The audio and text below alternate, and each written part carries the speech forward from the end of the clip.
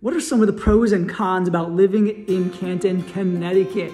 If you're the outdoorsy kind of person, then Canton is for you. Ski Sundown is about 10 minutes away and offers some of the best skiing in the area.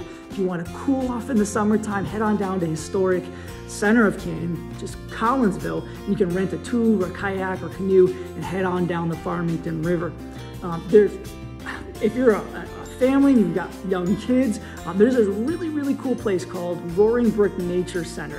And it's, it's an interactive nature center with model animals and wildlife, everything that's typical to, to this area of our state. The other thing is this, is that the Canton Land Trust has preserved some of the most serene and just welcoming, welcoming green areas of our state are located here in Connecticut.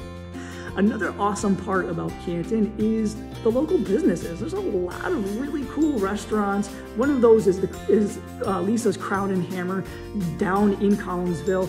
Um, come check out Benidorm Bike as well. And um, you'll find Jan, uh, Jan Ballard who actually is, uh, come to find out, is an Olympic and world champion cyclist. Um, she'll be able to help you fit you into your perfect size bike. And the last piece is Canton is, is, has a low crime rate and has some, some very, very highly rated and ranked school systems. It is the smallest town in Connecticut that has all three schools, primary, middle, and high school, all in the same town. Fun fact. Now, who might not want to live in Canton, Connecticut?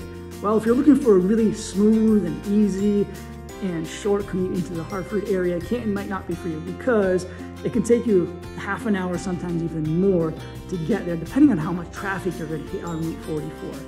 The second thing, if you're looking for strong nightlife and hustle and bustle feel community, well, Canton's probably not for you. It's much more laid back and much more relaxed than, than let's just say West Hartford. So if that's what you're looking for, looking for the nightlife, you might want to consider West Hartford instead. And thirdly, cost of living is a little bit higher in proportion to the rest of Hartford County.